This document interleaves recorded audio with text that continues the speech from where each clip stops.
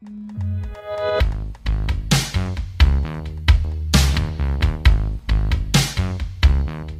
guys, Vivian's here, postcard from Cebu. Quick immigration update. Um, we are at the NVC. Um, Vivian um, has submitted her application. So I think I talked before about the process. Uh, um, the paperwork goes to NVC, and then I pay the fees, which I've paid the fees uh, already. You can pay those online, and then Vivian has to submit an online application, uh, which she has done.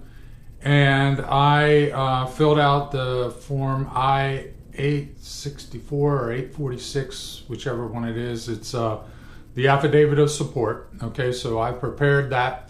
Uh, but now we have to supply the, the paper documents to back that up. So we're at that point right now. Then, uh, as I was going through the paperwork, I noticed that her uh, NBI um, police clearance had expired. So I had to send Vivian back out to get another uh, police clearance and a, a currently dated one.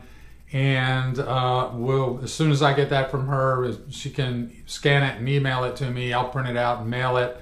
And then the NVC says six weeks from there. So uh, another six weeks. This is August 9th or 10th. So we're looking at the middle of September.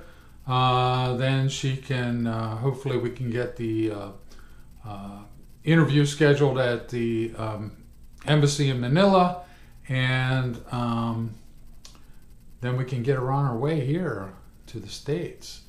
So anyway, guys, uh, very quick update this time. I'm super busy at work and uh, all kinds of stuff going on. Next week I have to travel to Chicago uh, to visit a customer of ours, and um, so lots of stuff going on.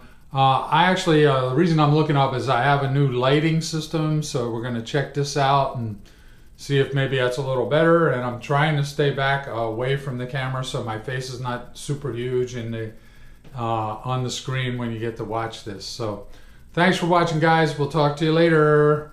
Uh, as always, up there somewhere is that subscribe button. Hit the subscribe button. Feel free to leave comments in the comments section below, as long as they're appropriate. And uh, we'll see you later. Thanks for watching. Bye.